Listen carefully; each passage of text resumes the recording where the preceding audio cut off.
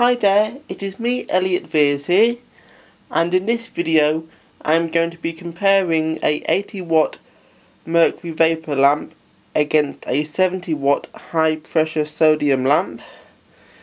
Um, both fixtures are designed for high pressure sodium and both have high pressure sodium ballast in. On the left we have high pressure sodium and on the right we have the mercury vapor. Finally, before I start the um, warm up comparison test, the high pressure sodium lamp has a built-in igniter.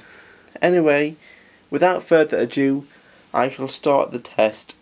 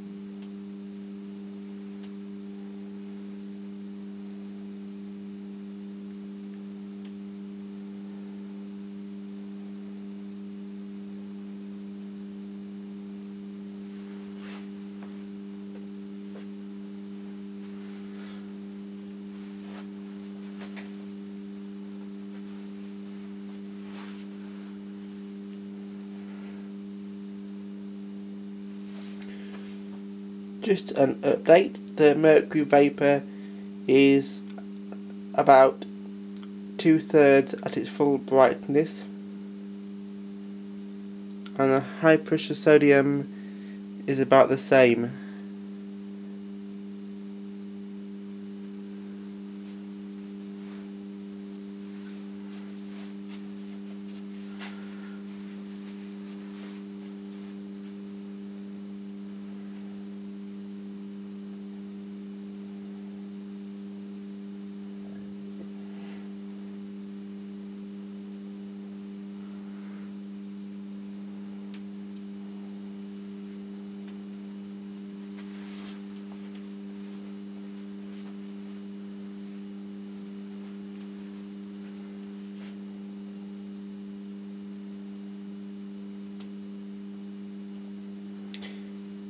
Okay, um, both lamps are now um, pretty much fully warmed up and at the peak brightness.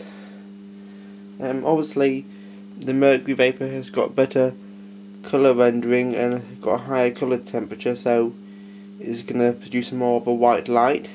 Anyway, um, I shall now turn them off so you can see um, them extinguishing.